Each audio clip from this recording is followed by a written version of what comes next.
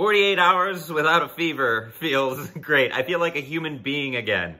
Speaking of human beings, Pentagon releases UFO videos and nobody bats an eye. Who cares about aliens?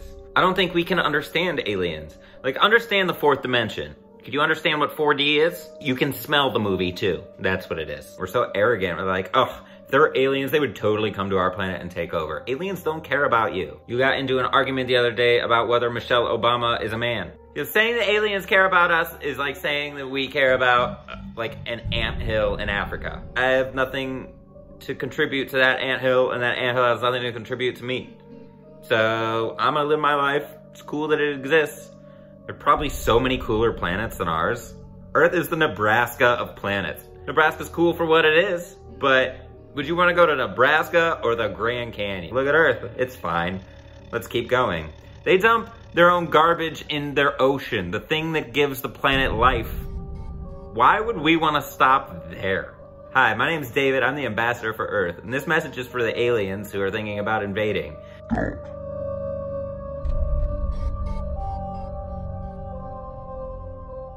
How we support people during good times, more than bad times, actually affects the quality of a relationship. How do you respond when a loved one or a friend or a close coworker comes to you with good news? Now, there's only one type of response to someone's good news that contributes positively to the relationship, but there's plenty that don't work. For example, passive responses like, oh, that's nice. It's almost as harmful to the relationship as being negative about it. Hi, I got a promotion. Oh, good, a promotion. Now you're not going to be able to spend any time with the kids. That's not the right response. Most destructive response, though, is ignoring the news entirely. When someone comes to you with good news and you ignore it, you might as well just consider yourself not their friend.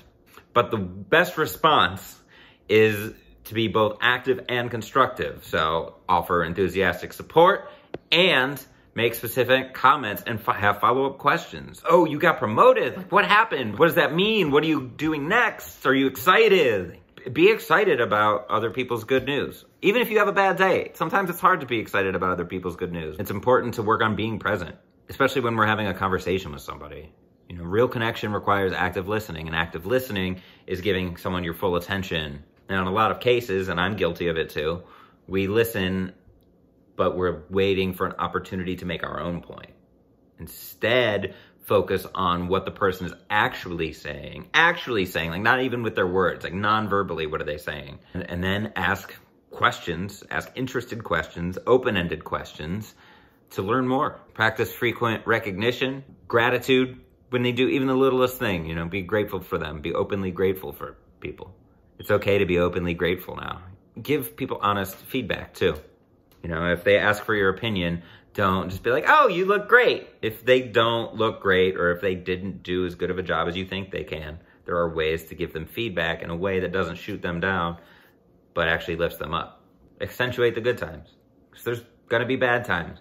So accentuate the good times so that when those bad times do arise, it's easier to remember what happened during the good times and how you were there to, to boost one another up. I think it's people from the future we're visiting to anally probe people in the past. Like, yeah, I got laid last night. you got laid? Well, I searched the rectum of an Ohio man from 2020.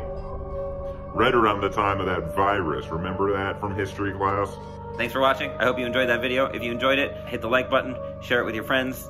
I'm just trying to bring some happiness into the world when it seems like there's so much negativity and pessimism. We need to be able to take a step back.